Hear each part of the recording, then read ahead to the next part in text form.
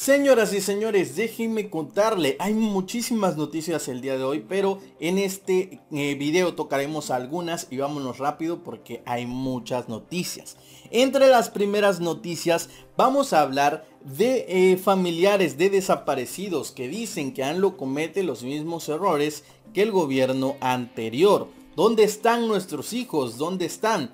Vivos los llevaron, vivos los queremos. Son algunas de las cosas, de las consignas que lanzaban antes de la llegada del mandatario federal.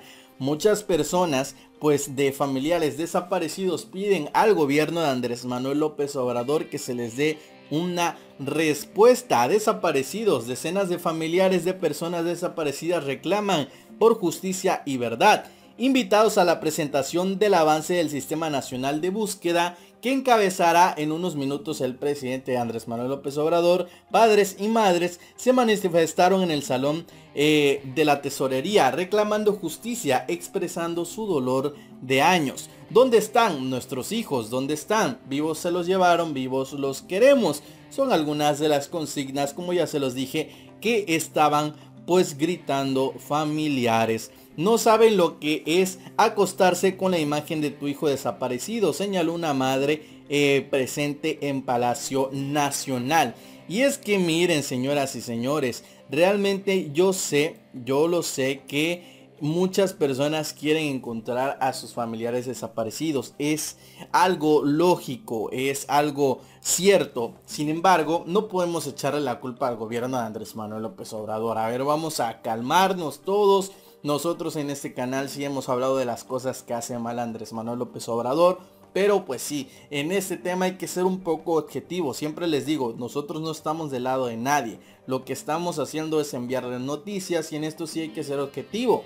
Solamente han pasado seis meses pues del empiezo del sexenio de Andrés Manuel López Obrador. Ciertamente no se ha trabajado en esto y es que el problema la tiene Andrés Manuel López Obrador mismo.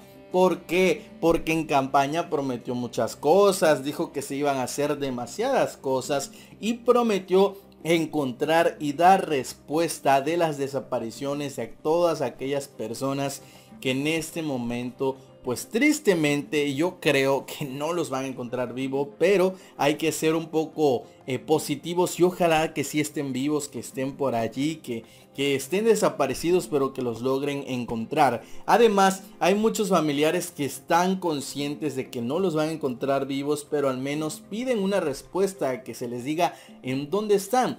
Andrés Manuel López Obrador y su gobierno no han dadole tanta importancia a este tema como a otros que sí hemos visto que son la prioridad, como el hecho de los migrantes, pero mucha gente está exigiéndole a Andrés Manuel López Obrador que como ya te lo dijo eh, ya te lo dije, él tiene la culpa por prometer, pues en campaña dijo que iba a encontrar a todos los desaparecidos, cosa que en seis meses pues no ha hecho. Y ahora, señoras y señores, también quiero decirte que una mujer se, se, arrodilló ante ANLO para pedirle ayuda. Así es, una mujer que se encontraba en primera fila de invitados se acercó al presidente Obrador y se ante él para pedirle ayuda para encontrar a su familiar desaparecido. Vamos a ver las imágenes.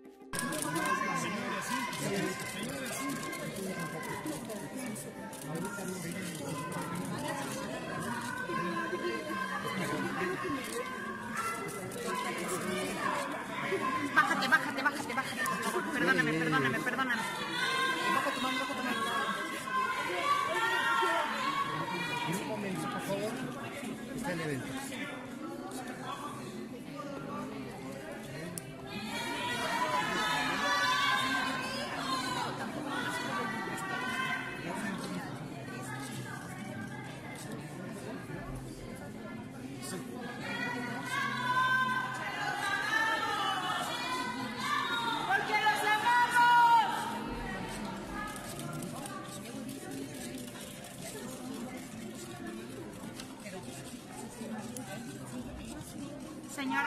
Muchísimas gracias.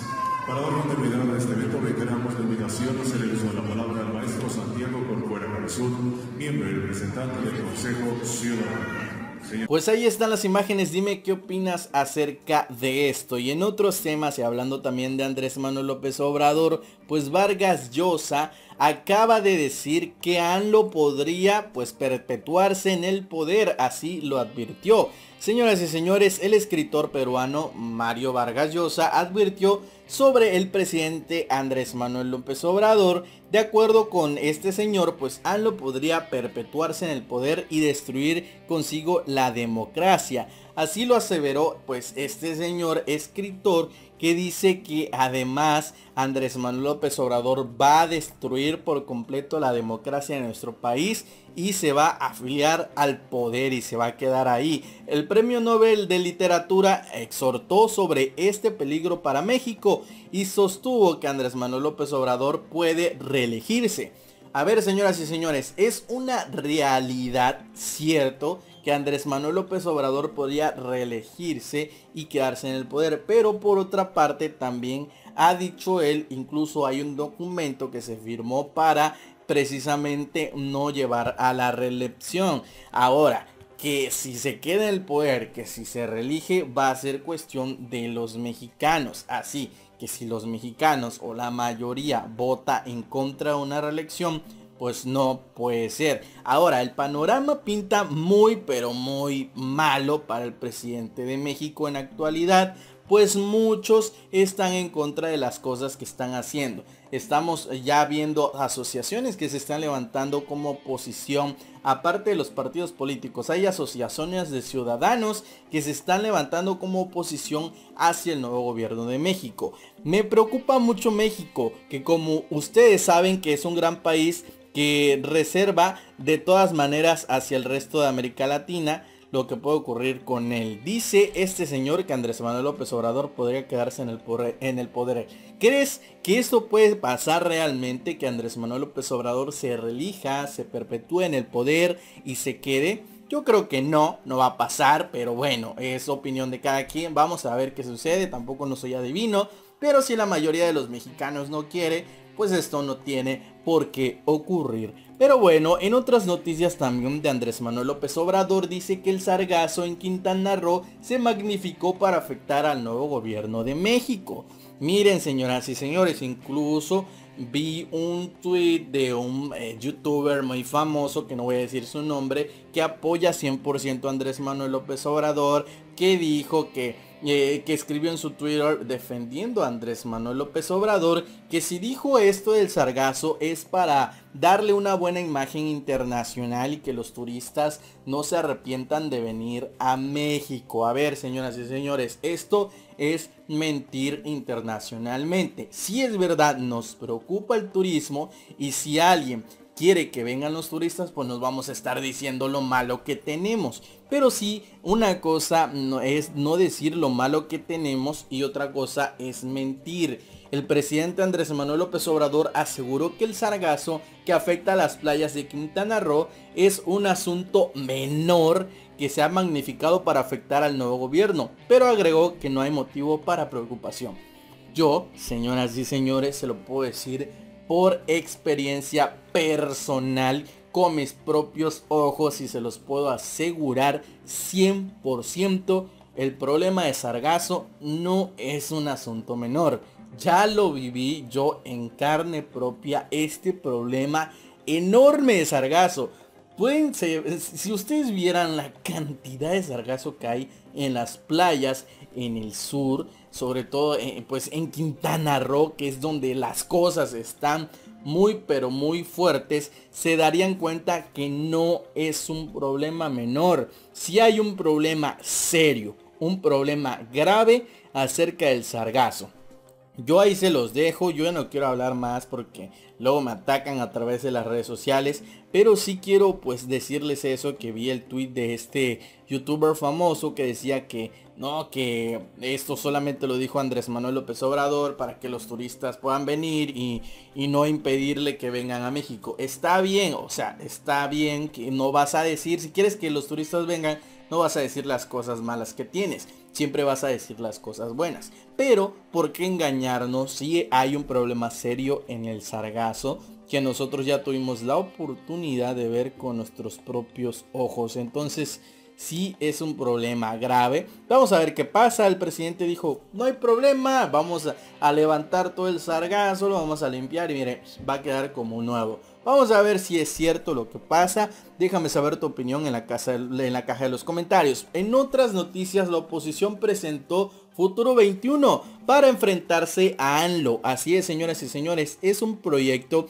que busca unir a varias expresiones políticas externas al Sol Azteca como mm, este, militantes del partido eh, Nueva Alianza o ex militantes de Nueva Alianza y el partido Acción Nacional.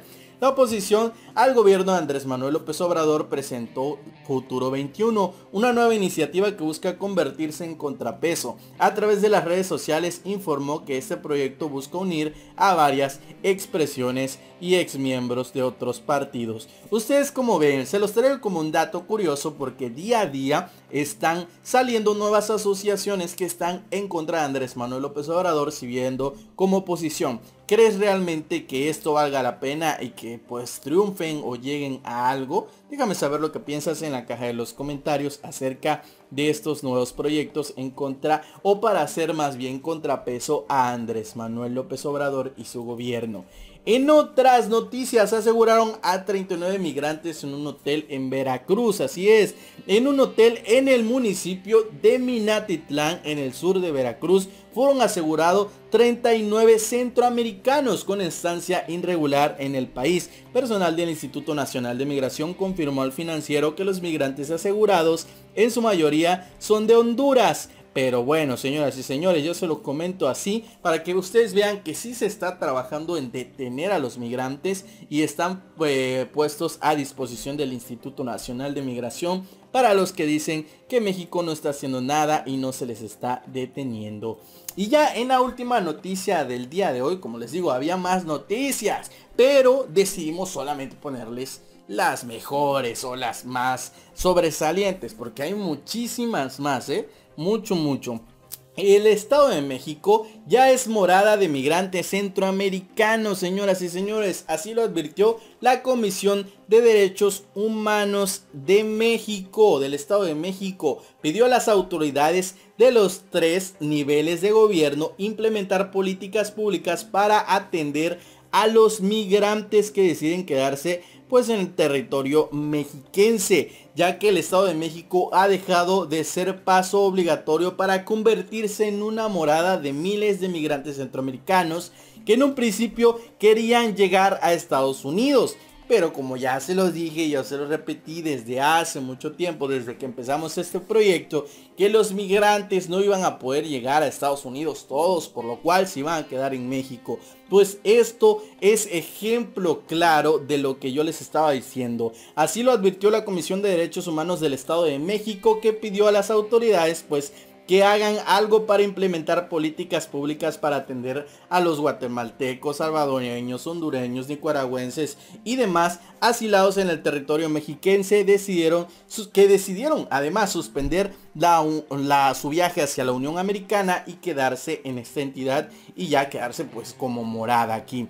Por lo anterior, pues piden a los institutos responsables y al gobierno que se atienda esta política migratoria porque ya no quieren a más migrantes allí que se están quedando y ya no están avanzando a su viaje hacia los Estados Unidos. Déjame saber lo que piensas acerca de estas noticias que te he presentado en este video y recuerda suscribirte, activar la campana para recibir todas las notificaciones y nos vemos hasta el próximo video.